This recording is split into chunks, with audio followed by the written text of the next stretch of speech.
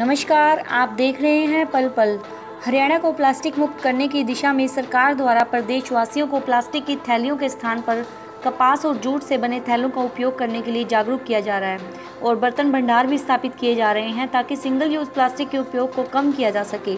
यह जानकारी मुख्य सचिव केशनी आनंद अरोड़ा ने मंगलवार को चंडीगढ़ में वीडियो कॉन्फ्रेंसिंग के माध्यम से कैबिनेट सचिव, भारत सरकार राजीव गाबा की अध्यक्षता में आयोजित सिंगल यूज़ प्लास्टिक के समुचित निपटान की समीक्षा बैठक में दी।